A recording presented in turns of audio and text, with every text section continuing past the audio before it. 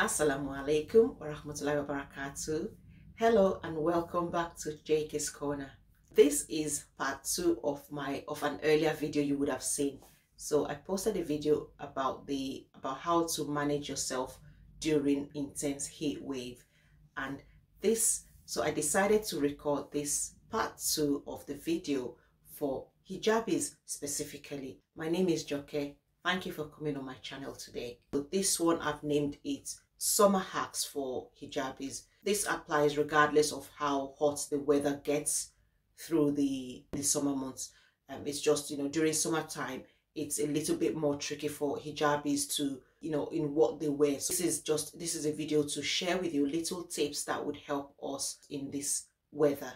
So at the moment, I've got a, a jersey hijab on but ideally when you're going out during this summer months. But it is better for us to wear cotton hijabs or more natural fabric hijabs you know like those bamboo those hijabs made from bamboo fabrics that are quite new now.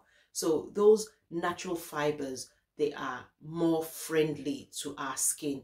That's the first tip.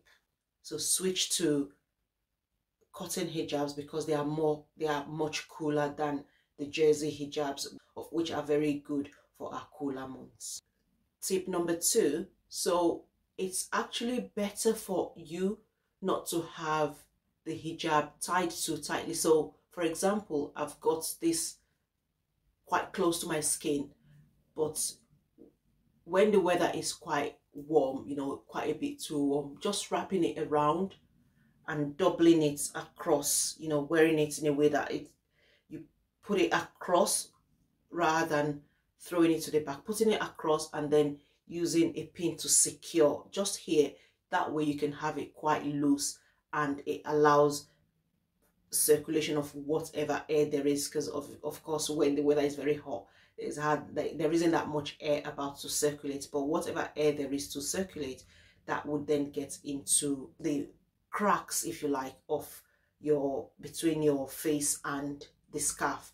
Not having your hijab secured too tightly is another tip to help you stay cool during these summer months. Before I go on to tip number three, please don't forget to give me a like on this video. Thank you very much. So tip number three is the underscarf we wear, change them daily because fabrics that are in closer contact to our skin would of course take on a sweat more than the outer fabrics. Wash your undergarments, including your under cap regularly. Tip number four, wash your hair regularly. I mean, on a weekly basis as a hijabi.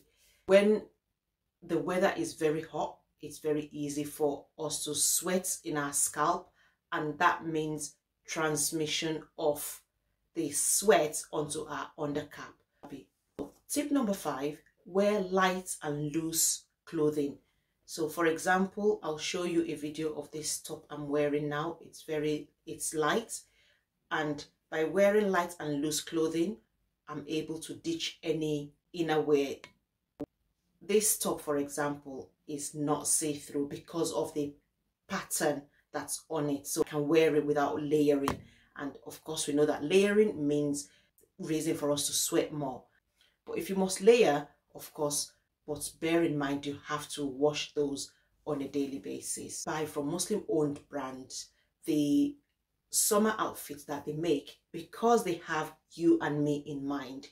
They create it in a way that would be modest enough so we don't need to worry about adding extra layers as opposed to when we buy from mainstream shops Another tip is wearing a kimono. So this means you can wear, so when you buy regular, when you buy clothes from, when you buy your loose tops from mainstream shops that do not necessarily have the right coverage for you as a hijabi and you don't want, you don't want to layer underneath. Another good way of having the coverage you desire is wearing a kimono over your dress or over your shirt or carrying wet wipes in your bag. So this is maybe baby wipes. And what do you need this for? So you finished for the day in the office and you remember I said in the previous video, if you haven't watched it by the way, please go back and watch that video. Thank you very much. I said that our homes in the UK are not built to, to keep us cool because they are built with winter in mind. So our houses are really built to keep the heat in. So that means during the summer months when the weather gets really hot, it is really, really, really hot for us to cope in the weather. And when you finish working from the office and you're about to step out, you know, into a public transport, please be kind to those you'll be taking public transport with. You don't want to go onto a packed bus or tram or train and be smelling. So please, when you finish working, go into your ladies' room, you know, give a quick wipe to your underarm, your under boob, more sweaty parts of your body, and then away you go. Get on the public transport and you'll be smelling fresh. Everybody around you would not feel the need to duck and dive because somebody with a stench has just joined. So another thing you can easily do is because of the pandemic now, a lot of employers have allowed us to do hybrid working, so working in the office days, working at home days. As a hijabi, why don't you swap your working at home days on, you know, in a week if you have very hot days? Work at home on those hot days. That way you don't have to go into the office. Another good tip is getting in the shower as often as possible or doing your ablution you will do as often as possible to help you stay cool. Don't forget to share this video with a friend who you know will definitely benefit from it.